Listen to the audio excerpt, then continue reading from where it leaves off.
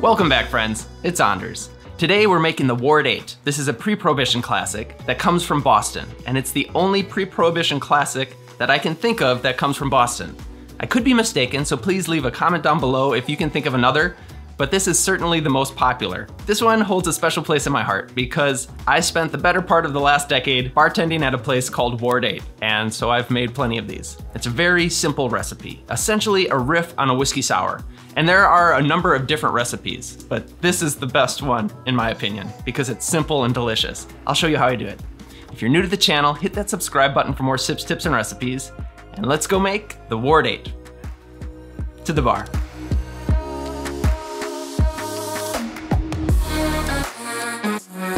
We don't really know the origin of this cocktail. The most common story is that this drink dates back to 1898, when Tom Hussion created this drink at the Locke-Ober Cafe in Boston, in the 8th Ward, which is why it has the name Ward 8. Anyway, this drink was created in honor of Martin Lomasney, who was running for political office. It was created to celebrate his victory, even though the drink came out before the votes were actually tallied. Now, it's said that he was linked to voter fraud and he was probably a corrupt politician, like many were in Boston back then. It also said that he was a ward boss, which I thought was pretty cool. And that's an unofficial title. I don't know what he did or how you become a ward boss. Other stories say that it was a different bartender who made this drink, and some will say it was a different bar that had this drink. In that haze, we also don't know the true recipe. Some bartenders put bitters in this drink, others will top this off with soda water. I've seen it with mint, but they all come back to whiskey, citrus, and grenadine. Those are the three main components. So that's what I'm keeping it to.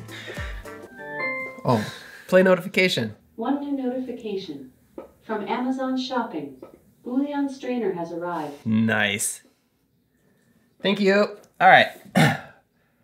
okay, so we're shaking this drink. I've got my Boston shaker, that's very appropriate. A jigger Hawthorne strainer. I've got a knife because I'm gonna cut a little piece of orange for garnish. And then I have cocktail cherry. Now the booze.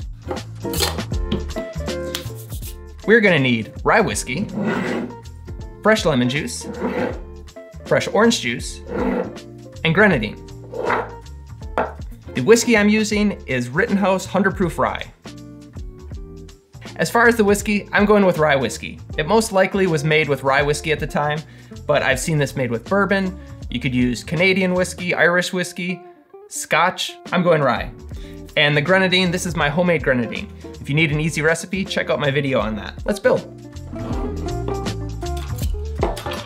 Let's start with the whiskey.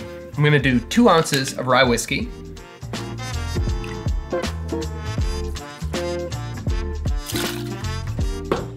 Half an ounce of fresh lemon juice, another half ounce of fresh orange juice, and half an ounce of grenadine. We're gonna serve this up, so get your glassware chilling, if you haven't already. Add ice and shake. About 10 seconds or so.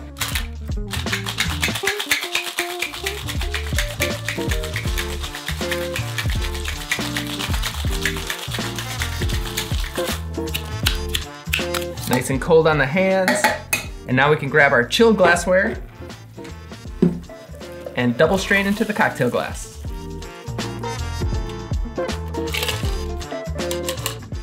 For a garnish, I'm just gonna cut a little triangle, a little piece of orange, and then a cherry, and place it right at the edge.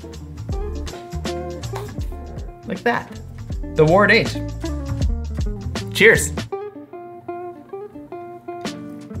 Mmm, if you like a whiskey sour, give this one a shot. It's not quite as sour because the orange juice and grenadine really tone down the lemon, and I definitely get the rye whiskey. I'm using 100 proof, so it stands up. That's easy to drink. Oz, would you like to try? Yes, please. Mmm, yum. That's very refreshing.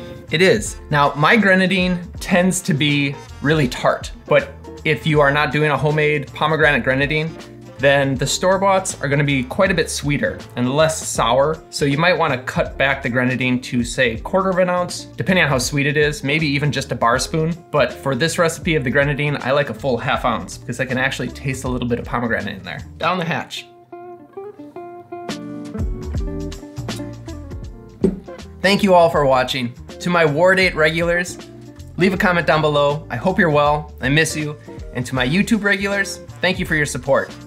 I will see you next time. Cheers. Mm. Bartender, bartender, I need another one. Bartender, bartender, bartender, bartender, over here.